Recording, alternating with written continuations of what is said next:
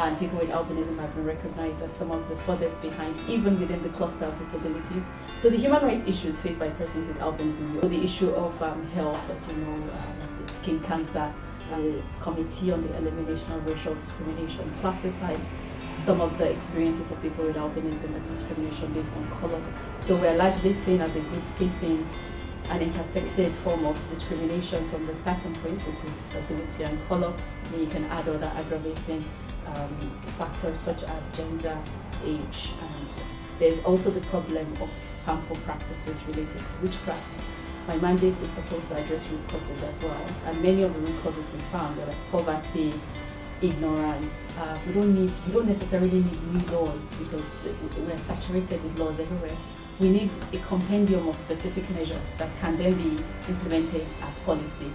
So there needs to be community level work done, very specific measures such as that need to come through a national action plan.